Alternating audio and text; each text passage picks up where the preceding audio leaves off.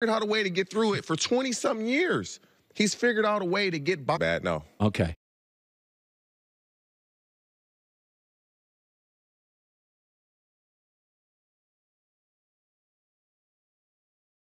You, so that there you didn't work out. Yes. By the way, to better Sundays. It doesn't. Re- You just need to be in shape and understand the offense and or the defense. Period. Some years he's figured out a way to get by and skate by. These 20 whatever days we're doing in camp is not going to make him out. And we would always have these type of discussions. The guys that I play with are watching this. They, they know. You'd have him with Marvin. Oh, I would have him with Marvin all the time. Guys were scared to talk to Marvin. You and Carson Palmer weren't.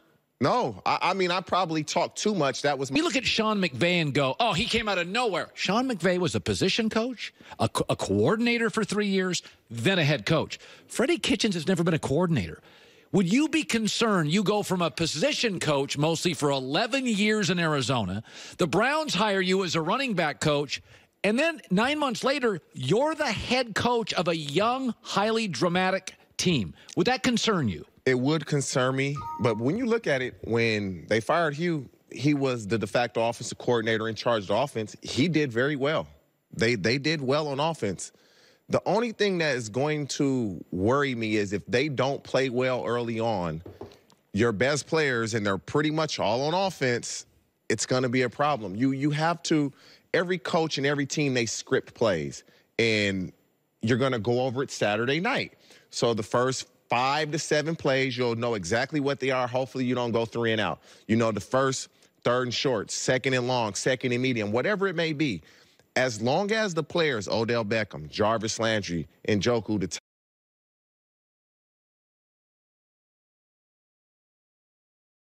in those first however many plays, I'm trying to get you the ball here. I'm trying to get you the ball here. That should be okay because they'll see the script and say, okay, he's trying to get me the ball. But if it doesn't work and they're not winning, it's going to be a problem and it's going to say what it's going to be a problem. You you have to every coach and every team they script plays and you're going to go over it Saturday night. So the first 5 to 7 plays, you'll know exactly what they are. Hopefully you don't go 3 and out. You know the first, third and short, second and long, second and medium, whatever it may be. As long as the players, Odell Beckham, Jarvis Landry, and Njoku, the top Do players talk what what you feel is best, they that's like an insult to them. Like, I know the game, like you put a lot of time in, coach, but I also know the game. They look at you like you don't know the game like I do. And yes, that's 100%. If a coach doesn't know what he's doing, he will get talked about a lot in the locker room. If I said on average, go to an NFL coaching staff, 16 coaches on average, how many are great, how many are average, and how many are over their head? The great ones, I'd probably say it's a couple on each coaching staff. Great coaches. There's really good coaches. Average, more than 50%. And and And over their head, I would say probably 30%. dang. Yeah, and the coaches think about this.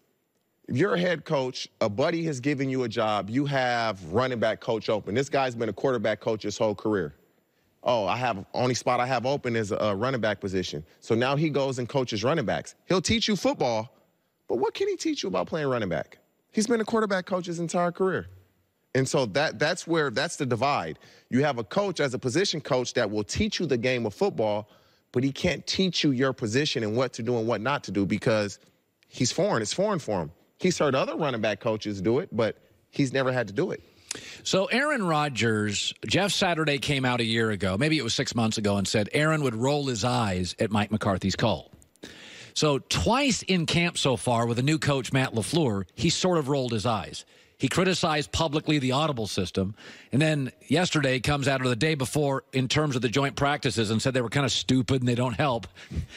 so twice now with his young coach, he sort of publicly said, kind of a kind of a the equivalent of an eye roll, like uh, audible systems, uh, joint practices.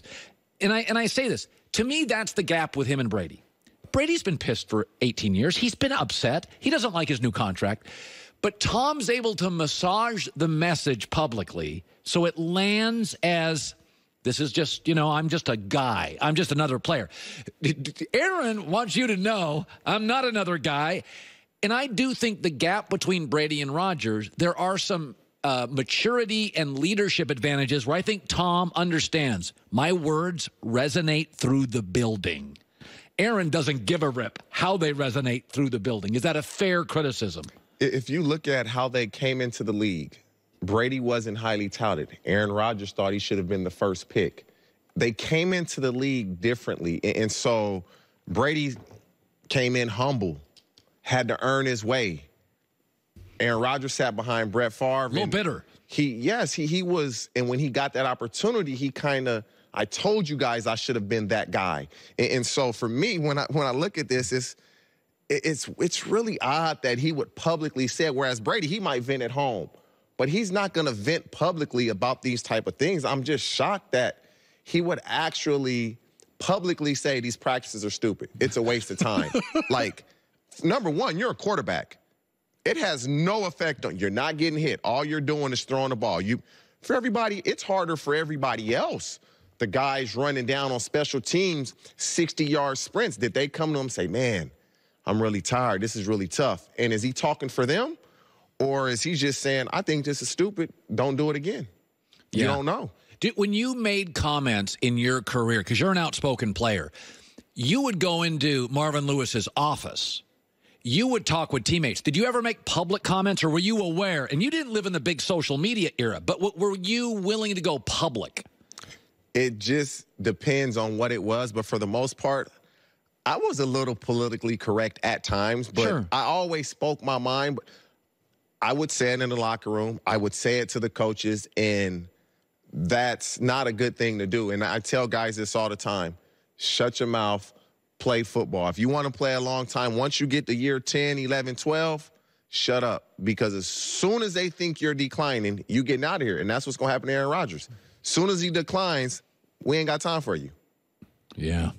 Listen, it's it's. Uh, I always heard a rumor years ago that player representatives, Kevin Mawae was a player representative, that that was a dangerous position to take. I was one for seven years. you sit in the room with owners, and they're like, "Yeah, is this you guy?" go to the combine, you have meetings. I was on a uh, you were a player rep for seven years. seven years. I had I was on a committee with Roger Goodell when obvious we were Cincinnati. We kind of started all the troublemaking back then and how to navigate through that.